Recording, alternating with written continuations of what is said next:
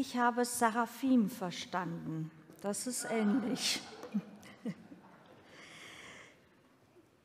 In dem Jahr, als der König Usia starb, sah ich dem Herrn sitzen auf einen hohen und erhabenen Thron, und sein Säum füllte den Tempel. Seraphim standen über ihn. Ein jeder hat sechs Flügel. Mit zweien decken sie ihr Antlitz, mit zweien decken sie ihre Füße und mit zweien flohen sie. Und einer rief zu dem anderen und sprach, Heilig, heilig, heilig ist der Herr Sebaoth. Alle Lande sind seine Ehre voll. Und die Schwellen bebten und der Stimme ihres Rufes und das Haus ward voll Rauch.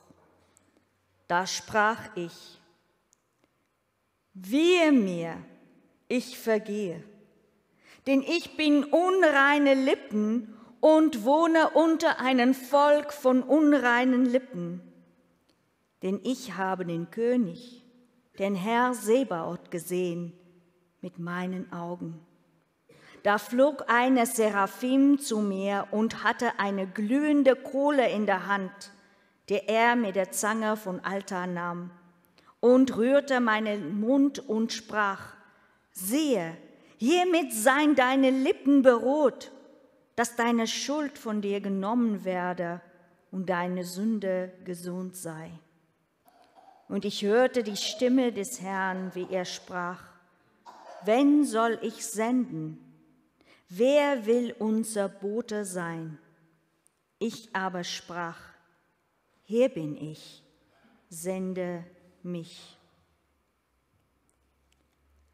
Geil, Mama, sagt ein Bub zu seiner Mama, als sie miteinander in einer Kirche Kirchenfenster von heiligen Figuren betrachten. Jetzt weiß ich, was ein Heiliger ist. Einer, durch den das Licht scheint. Dem Licht Gottes seine Heiligkeit und Herrlichkeit begegnet auch der Prophet Jesaja. Überwältigt ist das für ihn, aber auch heilsam und tröstlich. Der Berufung des Propheten Jesaja fast 3000 Jahre her. Jesaja hat eine Vision. Er steht vor den Thron Gottes.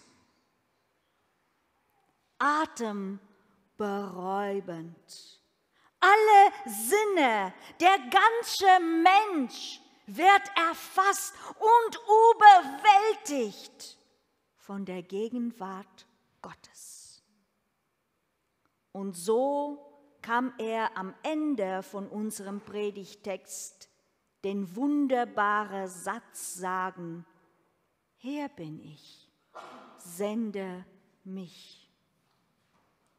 Hier bin ich, leuchte durch mich, rede durch mich, brauch mich, wie du möchtest. Am Anfang steht die Begegnung mit Gott und seine Heiligkeit. Jesaja stehen, sieht Gott in seine große Herrlichkeit.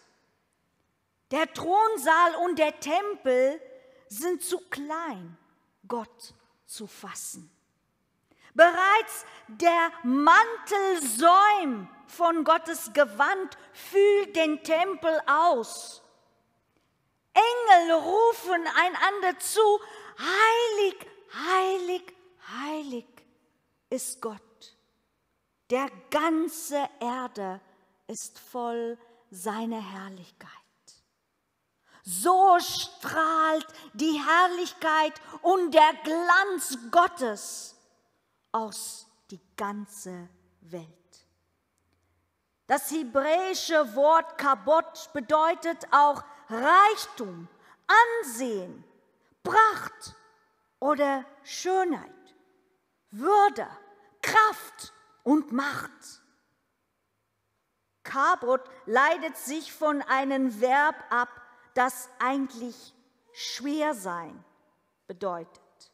Im übertragenen Sinn meint das Wort auf Deutsch Ehren, also Gewicht, Bedeutung haben. Was hier erzählt wird, dass es keine Geschichten von lieben Gott, der mal freundlich vorbeischaut.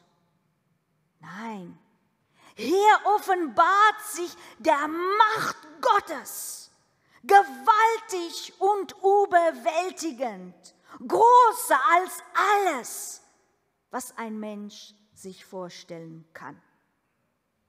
Und der Mensch vor Gott erkennt seine Unvollkommenheit, seine einige Winzigkeit, seine Sünde.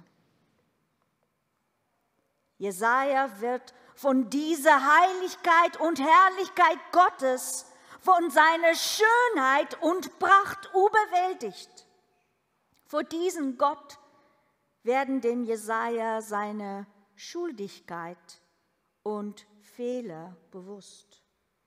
Wehe mir, sagt er, ich bin verloren. Denn ich bin ein Mensch mit unreinen Lippen und ich wohne in einem Volk mit unreinen Lippen. Aber Jesaja muss nicht in Grund von und Boden versinken und sterben. Ein Engel berührt seine Lippe mit einer glühenden Kohle vom Altar. Die Schuld des Jesaja wird vergeben. Jesaja darf vor Gott bestehen. Noch mehr. Die Vergebung und Liebe haben den Jesaja verwandelt. Vorher war er verzweifelt und schüchtern. Jetzt kann er nicht anders, als sie, sich Gott zur Verfügung zu stellen. Hier bin ich, sende mich. Seine Botschaft der Liebe ist wie ein Licht, zeigt das Dunkel in unseren menschlichen Herzen.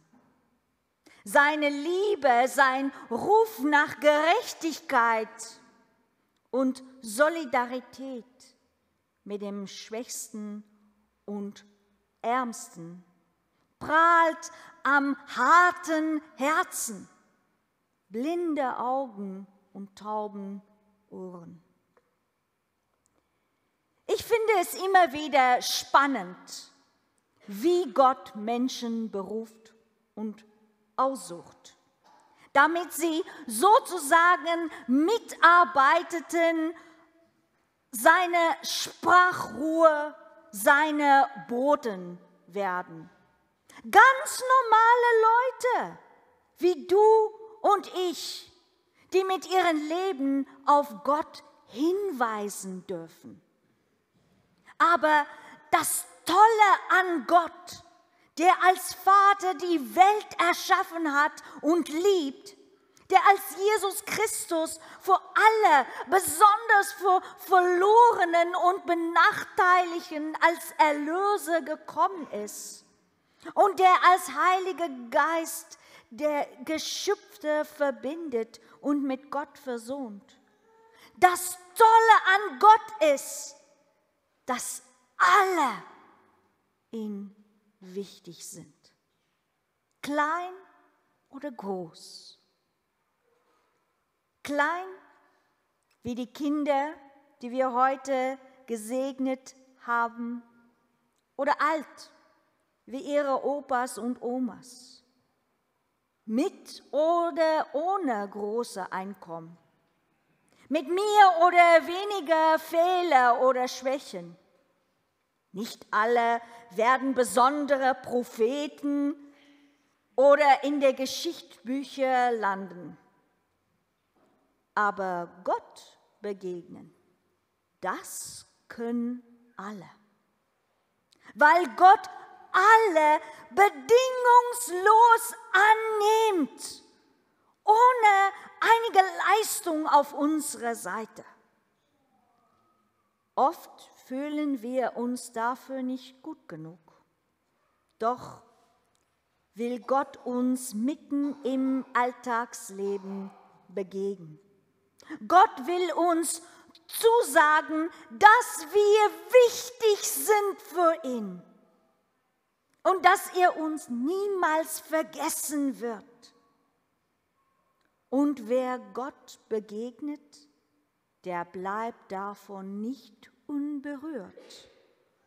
Wenn Gott Menschen begegnet, dann werden sie manchmal unsicher. Doch Gott kommt immer wieder auf uns zu. Als liebevoller Vater, als mitgehender Jesus durch Duck und dick und dünn, immer bei uns und als Heiliger Geist, die immer wieder neu die Verbindung zu Gott und unseren Mitmenschen herstellt. Ja, wir sind schwach und sündig. Wenn wir in Gottes Gegenwart erscheinen, dann werden wir uns immer wieder unserer Unreinigkeit bewusst. Gottes strahlende Heiligkeit weist sozusagen auf unsere menschliche Schwäche und Sündhaftigkeit und unsere innere Dunkelheit hin in Licht der strahlenden Heiligkeit Gottes sehen unsere sündige, schwarzen Herzen besonders dunkel aus. Und wenn Jesaja fühlen und wie Jesaja fühlen wir uns dann unwürdig. So überwältigt und wollen vor laut, lauter Scham von Boden verschluckt werden. Aber dann kommt Gott selbst mit seiner unendlichen, unfassbaren Liebe und Barmherzigkeit und berührt uns. In seiner göttlichen Heiligkeit berührt er uns, weil er mit uns in Beziehung sein möchte. Gott nimmt uns an, so wie wir sind. Wir müssen uns nicht einmal beweisen. Wir müssen keinen Beitrag leisten. Wir müssen Gott nicht beeindrucken. Gott nimmt uns an, wie wir sind. Gott nimmt uns bedingungslos an. Deswegen müssen wir immer wieder unsere Sehnsucht nach Gott nachgeben. Orte und Zeiten der Gottesbegegnung aufsuchen. Jesaja geht in den Tempel. Wir können in die Kirche oder in der Gemeinde gehen. Wir können in Gottesdienst gehen. Wir können auch in die Natur gehen in die Stille, in unsere Zimmer, Musik hören, ein Worship-Lied, ein klassisches Stück. Und uns auftun, unsere inneren Ohren und Augen auftun. Wenn Gott uns da begegnet, wird er uns zeigen, er ist unfassbar groß. Seine Gegenwart erfüllt die ganze Erde. Darum können wir in allem, was wir sehen, hören, spüren und empfinden, mit all unseren Sinnen ihn erfahren. Auch in Momenten des Erschreckens, wo wir uns ängstigen, des Zerbrechens, wo unsere Mängel und Schatten, Schuld uns bewusst werden, können wir sagen, dürfen wir sagen, hier bin ich vor dir. Gott kommt uns immer entgegen. Fürchtet euch nicht, sagt Jesus den Jünger in Sturm auf dem See. Ich bin's. Und den Jünger, die sich kurz nach Karfreitag und Ostern aus Angst eingesperrt haben, begegnet der auferstandene Jesus. Er geht zu ihnen in Raum, in dem sie sich eingeschlossen hatten und sagt, Friede vor euch. Und er hauchte sie an und spricht zu ihnen, empfangt den Heiligen Geist. Das meint heilig werden. In Berührung kommen mit Gottes Geist, mit seiner Vergebung, seiner Liebe. Jesaja dürfte es schon erfahren. Also heilig wird das, das mit Gottes Geist, Atem und Hauch erfüllt wird. Gott erfüllt uns mit seinem Geist, seinem Atem, seinen Hauch, dass wir tönen, klingen. So wollen wir leben, klingen, wie wir sollen. Resonanz geben auf das Wirken seinen Geistes. Das Sagen und Aussprechen, was Gott durch uns will das tun, was er durch uns möchte, auch bei Widerstände und Gegenwind. Da schön leuchtet Jesus Christus auf. Gott, der uns kennt und trotzdem liebt.